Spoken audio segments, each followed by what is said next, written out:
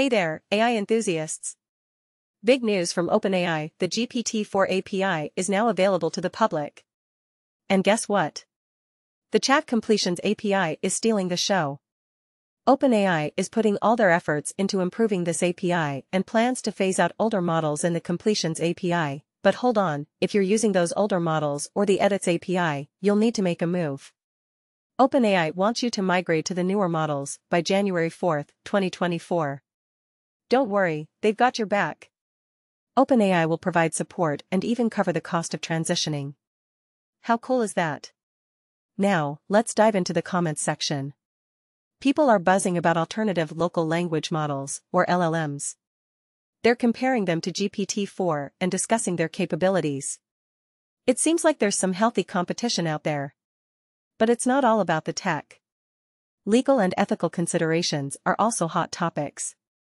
Some users are concerned about the funding of AI propaganda.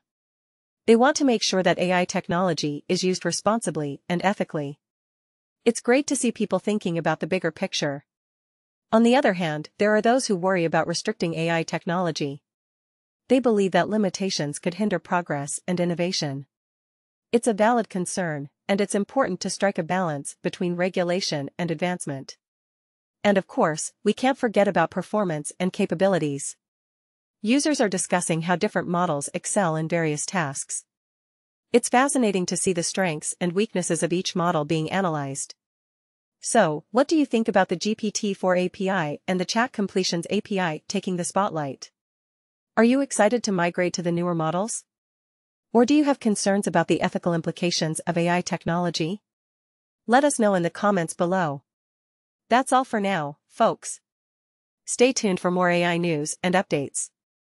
Don't forget to like and subscribe to our channel for all things AI. Until next time, keep exploring the world of artificial intelligence.